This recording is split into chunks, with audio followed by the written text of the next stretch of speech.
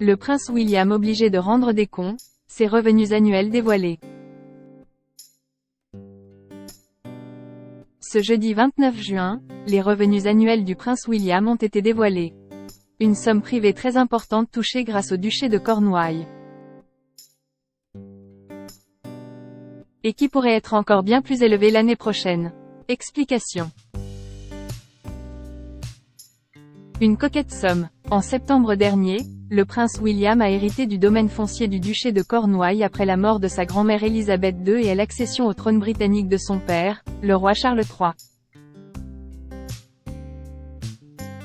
Le nouveau prince de Galles va donc désormais avoir droit aux bénéfices excédentaires chaque année, comme le rapporte The Indépendant.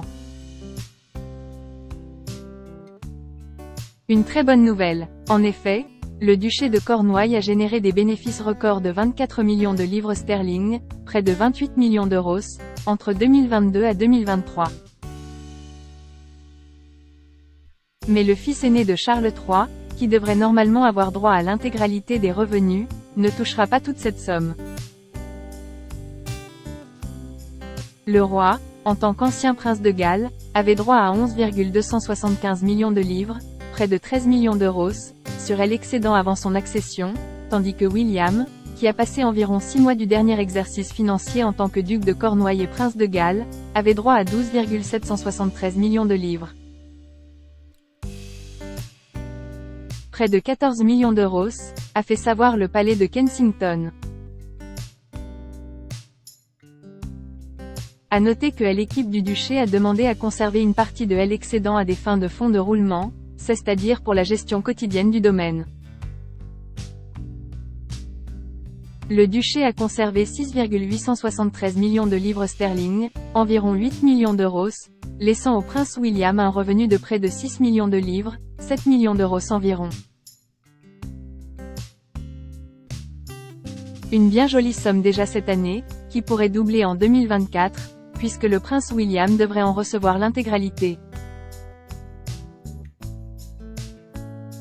À condition également que le duché réalise d'aussi beaux bénéfices.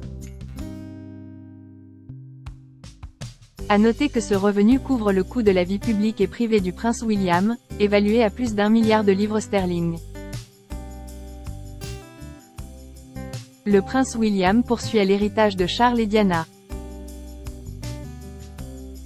Le prince William cesse d'exprimer sur le duché de Cornouailles hérité de son père. Le prince de Galles a tenu à rendre hommage au roi pour avoir laissé une marque indélébile sur le duché et pour avoir été passionné par la conduite du changement. Je suis engagé dans la lutte contre le changement climatique et je suis fier des efforts déployés par le domaine pour relever ce défi. Si nous pouvons également contribuer à relever des défis sociaux tels que la santé mentale et le sans-abrisme, j'aurai le sentiment que mon mandat de duc aura été utile, a-t-il confié, prenant très à cœur son nouveau rôle.